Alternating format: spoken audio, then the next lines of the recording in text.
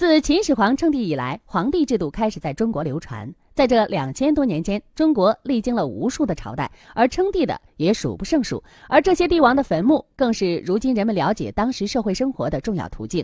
在当今，太多的考古来自于意外。一九七四年，陕西的农民在打井取水的时候，无意中发现了陶制的人头，由此便开始了秦始皇陵的考古工作。这样的意外在中国还有很多。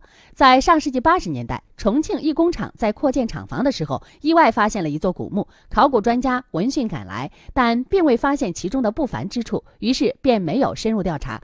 可是后来又有人在这座古墓附近发现了玄宫之碑，于是再次将考古学家的眼光吸引了过来。这次考古学家们不再像上一次一样草草了事，他们对古墓周围进行了仔细的搜寻，竟意外发现了被撕成条状的龙袍，这让考古学家确定这是一座帝王墓。考古学家们立即组织了人对其进行了挖掘，结合出土的文物，这座墓的主人呼之而出，他便是大夏的开国皇帝明玉珍。明玉珍是元。末农民起义军的领袖之一，于一九六零年建立大夏，定都重庆。